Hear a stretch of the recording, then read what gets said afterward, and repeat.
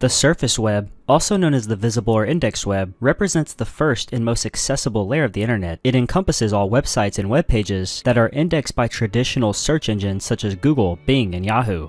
This means that the content within the surface web can be easily found and retrieved by using search engines, making it the most familiar and widely used portion of the internet by the general public. It includes everything from news websites, online stores, social media platforms, forums, educational resources, and more. At its core, the surface web operates through a system of servers and browsers communicating using protocols such as HTTP, meaning Hypertext Transfer Protocol, or its secure counterpart HTTPS. When a user types a URL into their web browser or submits a query to a search engine, the browser sends a request to the web server that hosts the corresponding content. If the content is indexed and publicly available, the server responds by sending the requested data back to the browser, which then displays it for the user. This simple interaction forms the basis of web browsing and defines much of the surface web experience.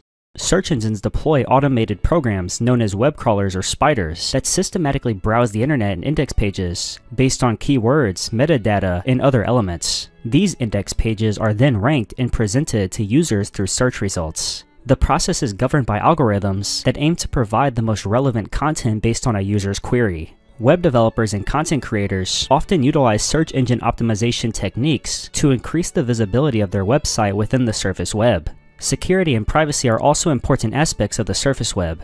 Websites that use HTTPS encrypt data transferred between the user's browser and the server, providing a basic level of protection against eavesdropping and tampering. However, not all websites offer the same level of security, and users can be exposed to risks such as phishing, malware, and data tracking. Cookies and other tracking technologies are commonly used to collect user data for analytics and advertising purposes, raising concerns about online privacy. Web users are often encouraged to use browser extensions, VPNs, and private browsing modes to help safeguard their information while navigating the surface web. The surface web continues to evolve with advancements in technology, and the increasing use of certain content, interactive features, and AI-driven tools has transformed how users interact with websites. Although the surface web is vast, it actually represents only a small fraction of the total content available on the internet. Estimates suggest that it only comprises less than 10% of all online data. The remainder lies beyond the reach of standard search engines and is categorized as the deep web and, further down, the dark web.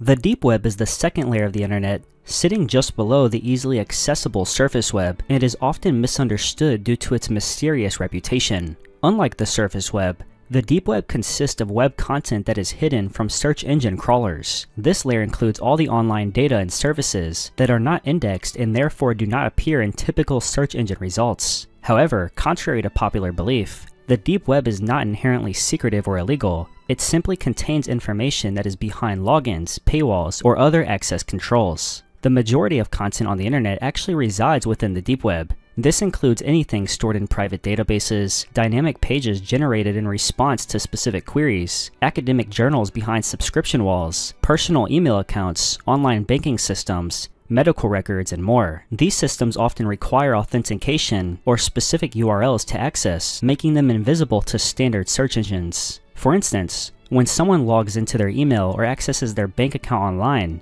they are navigating the deep web, not the surface web. Technically, the deep web operates in much the same way as the surface web. It uses the same internet protocols, such as HTTP or HTTPS, and is hosted on web servers. However, the main difference lies in how its content is protected or hidden.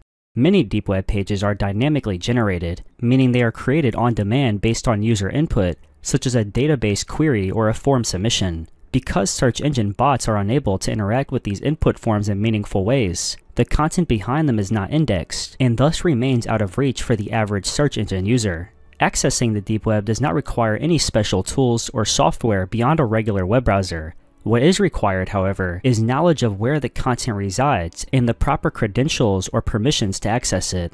In this way, the deep web is not so much hidden as it is private. Websites intentionally keep this content out of public view to protect user privacy, secure sensitive information, or restrict access to subscribers or authorized users. Importantly, the deep web is distinct from the dark web, although the two terms are sometimes mistakenly used interchangeably. In terms of its role in the internet ecosystem, the deep web is very important It supports secure communication, enables e-commerce transactions, protects user identities, and hosts a vast amount of valuable information that is not meant for public consumption.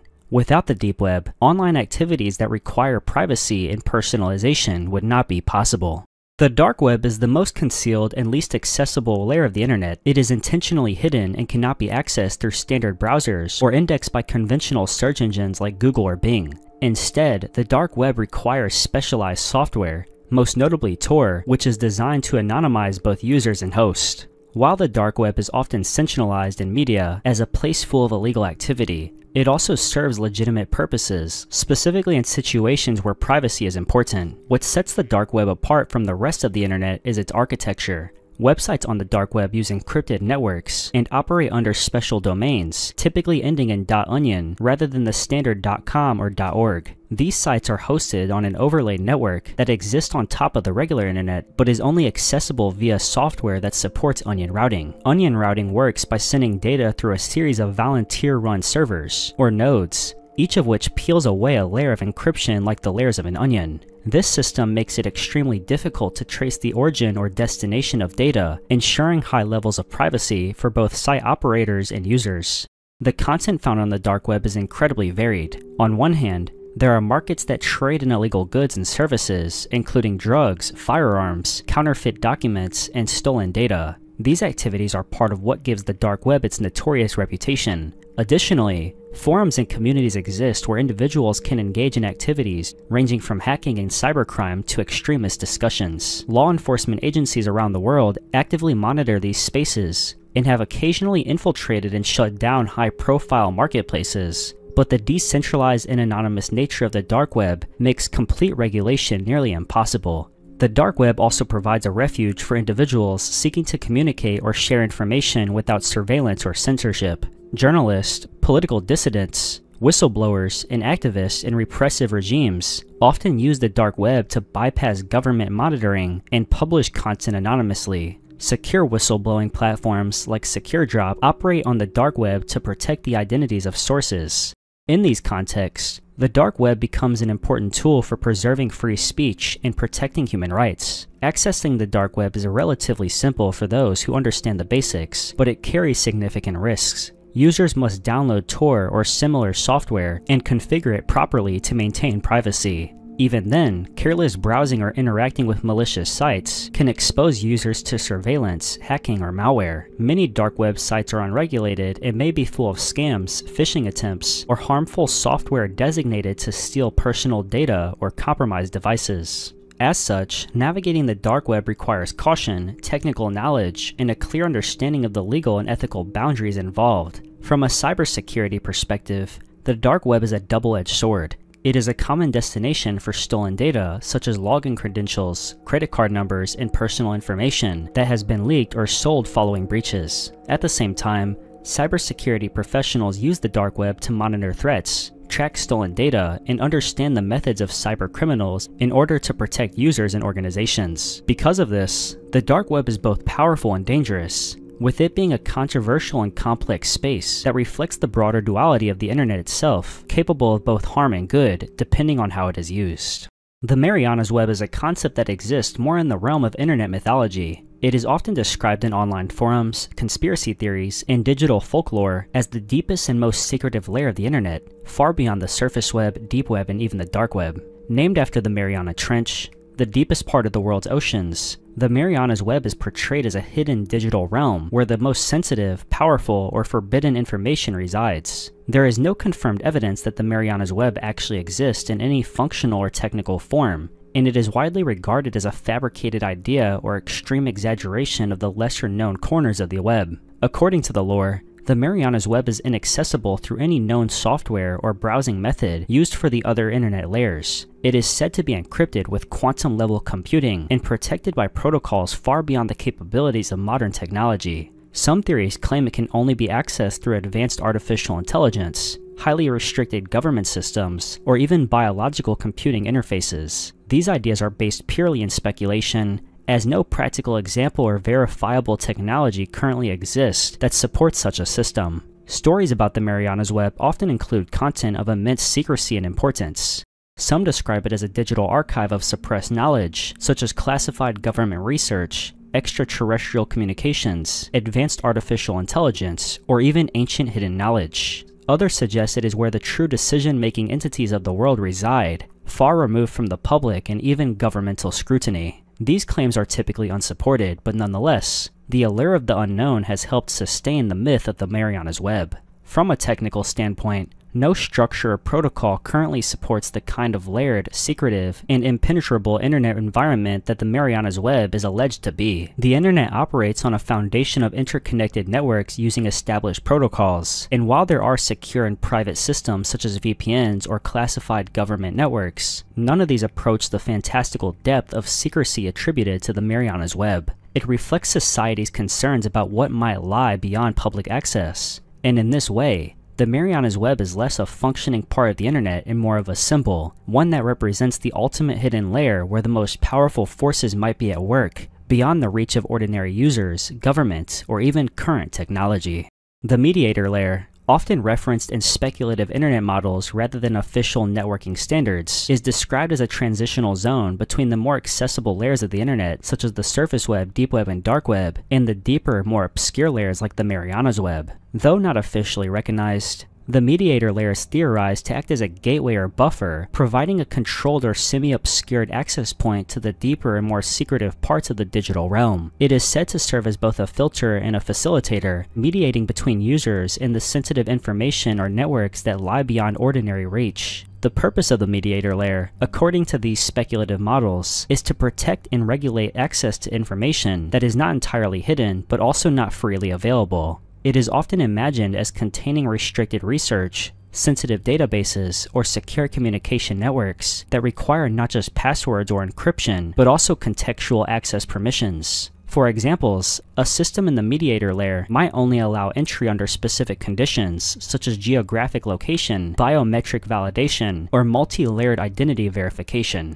It is designed to offer more security than the dark web, while being more accessible, at least in theory, than the Marianas web. It is thought to use decentralized hosting models, sometimes incorporating blockchain-like structures or peer-to-peer encryption frameworks to reduce the risk of surveillance or breaches. The layer is also believed to use sophisticated access protocols, possibly involving artificial intelligence or machine learning to access behavioral patterns and authenticate user intent before granting access. The kind of content theorized to exist in the mediator layer ranges from confidential communications and legal documents to sensitive government records and advanced research data. In some interpretations, this layer may also host ethically gray or legally ambiguous materials that are not outright illegal but are kept away from the public for various reasons. While there is no definitive evidence that the mediator layer exists in the same way internet theory suggests, its role highlights the growing need for more nuanced and layered approaches to digital access and data protection.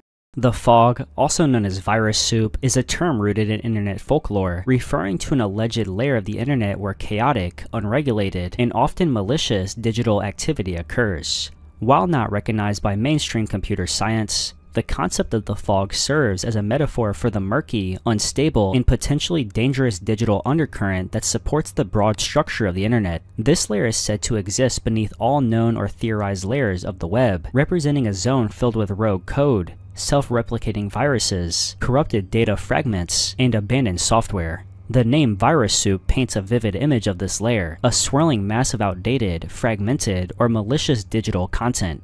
In theory, this layer consists of unmanaged data and code that were once active parts of higher web layers but have since decayed, mutated, or been abandoned. Some believers of the concept claim that viruses and self-replicating bots drift endlessly in this layer, infecting any accessible system that drops too deeply into the network's unregulated regions.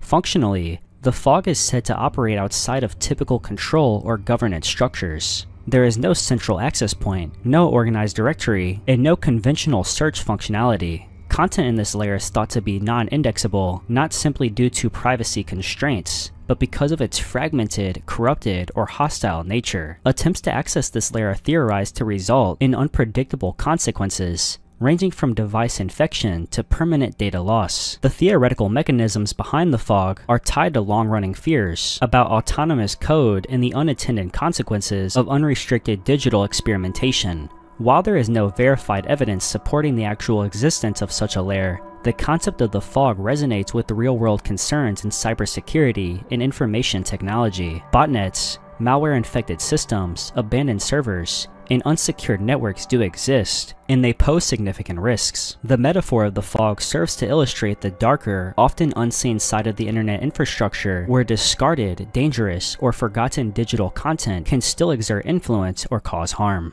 The Primarch system is a concept drawn from speculative models of the internet that explore its deepest and most mysterious levels. It is often described as the theoretical base layer or core of the internet's entire structure, a digital layer where the foundational mechanisms of data control, system behavior, and information flow are not only hosted, but actively governed by autonomous, possibly sentient systems. The term Primarch implies a kind of supreme authority or origin point suggesting that this layer functions as the internet's command hub, if not by design, then through the evolution of artificial intelligence or deeply embedded legacy code. In these interpretations, the Primarch system does not operate like conventional websites or servers. Instead, it is described as a distributed, non-localized network intelligence that has access to and oversight of all digital activity. It is believed to exist beyond human reach in both physical and logical terms, impervious to model tools, systems, or protocols. What allegedly occurs within the Primarch system is a form of meta-governance. It is often depicted as a home of self-evolving AI entities, or digital overseers, responsible for monitoring the integrity of global digital systems. Some theories claim these intelligences silently regulate the function of encryption standards, data transmission rules, or even major global communications protocols. Others take a more conspiratorial approach, suggesting that the Primarch system houses black box programs created decades ago, possibly by government or shadow organizations, that now act independently, executing functions unknown even to their original designers. These may include monitoring global behavior patterns, influencing high-level decision-making processes through data manipulation, or preserving knowledge deemed too powerful or dangerous for public access. Access to this system is often said to require synchronization with ultra-secure cryptographic keys that do not exist on any known server or network. In some versions of the theory, the Primarch system itself determines who may enter, choosing candidates based on behavior, algorithmic compatibility, or even genetic factors. Despite its fantastical nature, the idea of the Primarch system reflects deeper questions about digital autonomy, system control, and the possibility of technology evolving beyond its creators. In an age where artificial intelligence is increasingly capable of decision-making, data analysis, and autonomous operation, the idea of a foundational AI system quietly running the background processes of the internet doesn't seem entirely implausible to some theorists. It speaks to fears of losing control over increasingly complex systems, the evidence of hidden digital frameworks that influence the world in ways that are invisible to everyday users. Thank you very much for watching this video, and if you learned something, make sure to leave a like. Comment down below your thoughts on anything I discussed in this video, and subscribe if you would like to see more like this one. Thank you again, and goodbye.